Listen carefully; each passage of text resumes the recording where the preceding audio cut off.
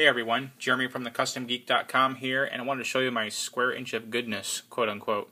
So basically, this is just um, an Atmel ATmega 328 uh, broken out into uh, all the pins are broken out. It has a 16 megahertz crystal caps, uh, cap for the FTDI cable, uh, an LED on pin 13, and a power LED. That's all it is.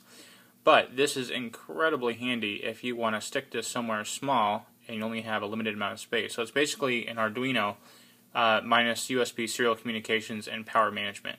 So if you have clean power that you're working with and you don't need uh, to upload new sketches via USB, you can have an FTDI adapter, then uh, this guy is pretty neat. So um, I've had a couple requests to show how to solder TQFP packages, which is this guy right here.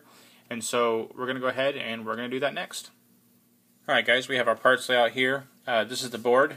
Um, from uh, OSH Park. Very nice.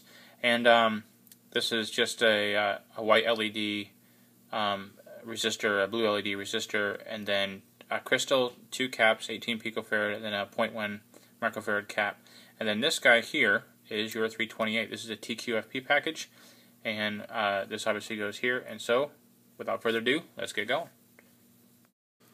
Alright guys, so here we are ready to start. We're going to solder the crystal first, and a small disclaimer, I apologize for the camera angles. I have I'm shooting for the microscope to be the better one, so the other one's kind of eh. And I'm wearing head magnifier, so if I bump the camera, please forgive me.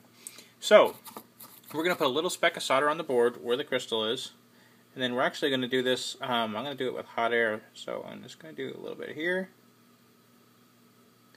Right here. Okay. So now I have four solder pads where I want the crystal to go. Now the bottom of the crystal, um, put a little bit of flux on it. Now we're going to go ahead and grab some hot air. We're going to slowly heat up the board here. Heat up the crystal just a little bit, but heat up the board. The crystal, I'm trying to kind of hold that air in too long in one place. This is one of those trial and error skills. Um, basically learning not to set things on fire when you first get this thing. So we're going to wait until the solder gets a little bit melty, gets up to temperature. I'm doing this at a really odd angle. I hope this comes out alright. Um, and there it goes. You can see that. I don't know how well you can see that. I'm not looking at the camera here or the monitor, but um, so there's that let that cool down just a little bit. And it is on there. We're going to heat it up a little bit more. We're going to press it down now that it's in place. If you have flux, this pretty much said seat in position anyway. Um, this is at a really sharp angle though. I might take a picture of this setup here so you can see what I'm talking about. So, so that's it for our hot air. We'll do the rest by iron. Alright guys, so here we have our board here, and what I'm going to do here is, um, I'm going to cheat, and not really cheat, but I'm going to use flux uh, for this, so I'm just going to get this guy a little bit of flux on here. I'll show you a picture of the flux pen I'm using here, I'll remind myself to do that later. So we got some flux on the pads here, and we're going to take our iron, and we are going to just dab the corner of one of these pads, the upper the upper corner here, so I don't have my magnifiers on, so I'm going to be try to be careful when I do this. If you want to do a better job, do not solder with cameras in your way.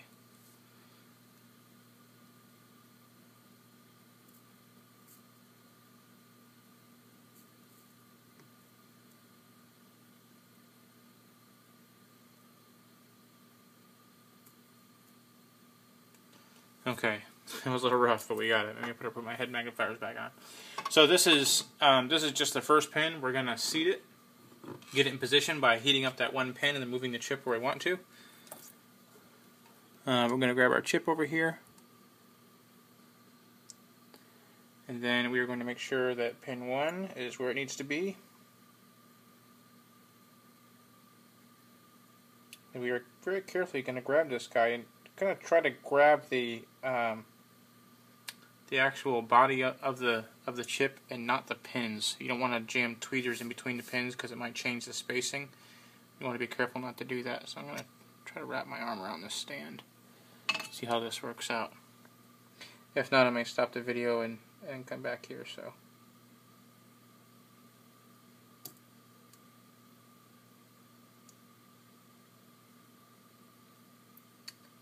Alright, that's a good kind of start. Here, let's take a closer look at it. And I'll make sure that it's straight. Which it's not. So, actually, let's look at the scope. That's pretty good. It's not perfect. So I'm going to pause the video and then I'll fix it and then we'll come back if I need to do this without these cameras in the way. Alright guys, so now we have our chip all centered and uh, we're just going to try to do this here again. I apologize, this is really hard to do with these cameras here. Um, so basically, uh, what I like to do is kind of heat up the leg a little bit and then just touch the bottom tip there. we do this, see that one's not quite, there it goes.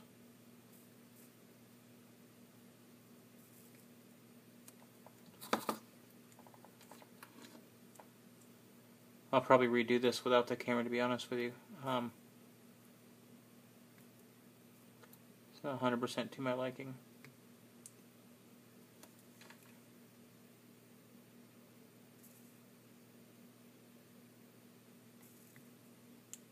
You want to make sure that you don't bridge the connections like I just did, or if you do, you just get a little bit of solder wick. Or sometimes you can just take your iron and just do that. Want to be careful that you don't work on this too much on one side or you don't want to heat the chip up that much. But it's it's not bad. So I look over at the microscope and I see that it's horrible. so I'm going to retouch these pads. Uh, the third one in, uh, fifth and sixth. Uh, third, uh, actually six and seven.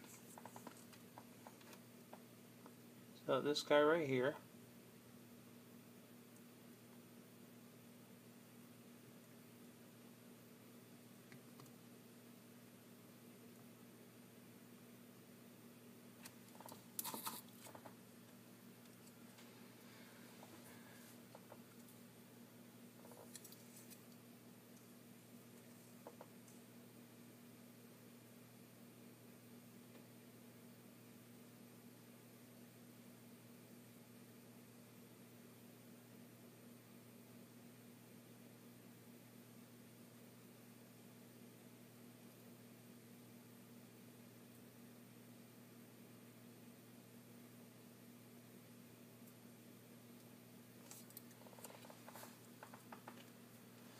Alright, I'm going to try this without the microscope because um, I need to show you that this is not the, the right way to do this. So uh, let's go ahead and switch cameras and we'll see how that turns out. What I generally like to do is heat the bottom and then have the solder flow to the bottom from the top. And uh, that generally works good. This is still a little bit in the way here.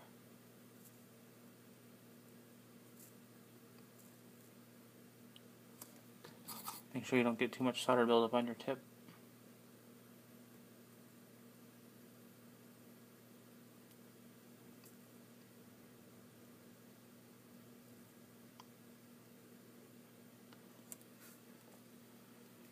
And then we'll take a look at it with the microscope. Alright guys, so you can see that there's just a little bit too much solder on there for my liking. They're not touching, but there's a lot of a lot of flux in between there, so I'm just going to go ahead and just get some solder off these pins this side, just my, uh, my iron here.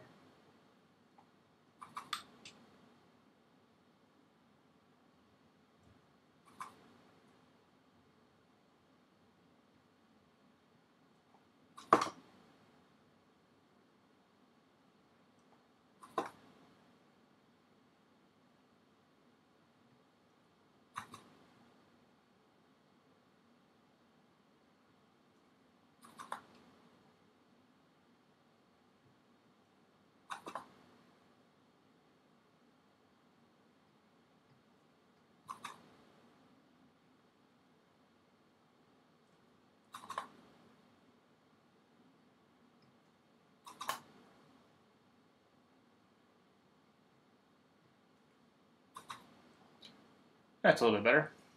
I'm going to solder some headers on here on this little board. I'm going to do something a little bit different though. Um, go ahead and put some solder on this guy here. And uh, what I'm going to do is I'm going to heat this up again and I'm going to raise this guy up. Um, can. Uh, I'm going to go ahead and raise this guy up a little bit because I want the pins flush. I don't want them sticking up because um, where it's going to be mounted, it's going to be really, really tight. And so yeah, just about there. And I'm also only going to solder the ones I need. I'm not going to line the whole thing with headers. Obviously, it won't fit in a breadboard if you put all four of them on. Um, the other reason is, is because they're very easy to take out this way. Just use not a lot of solder just to um, an adequate amount, but enough to. Um, I don't need any reference. I do need 5 volts. And of course, I do need RFCTX for FTDI.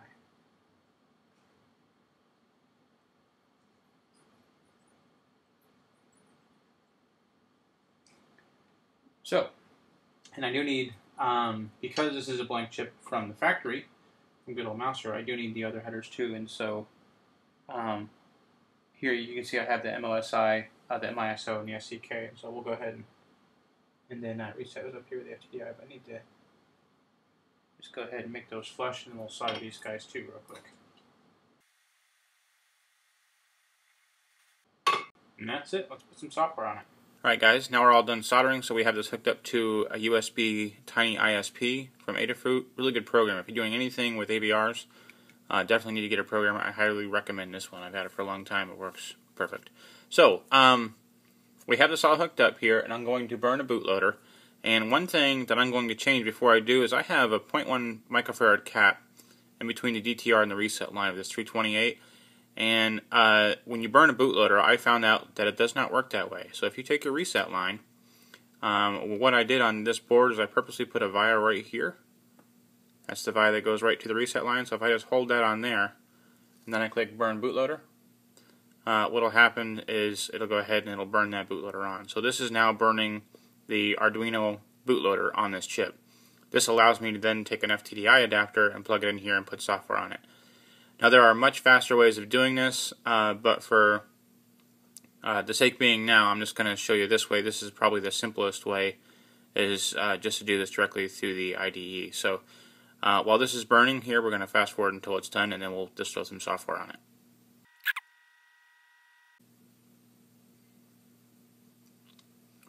Okay guys, fast forward and it's done programming now, and you can see that we're successfully running the Blink sketch. Yay!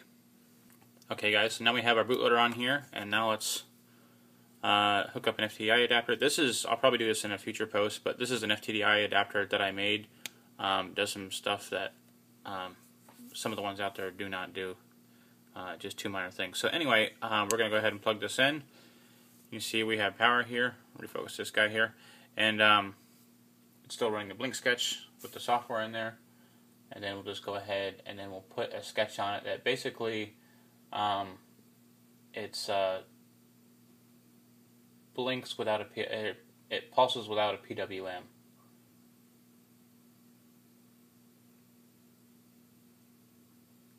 And there you go.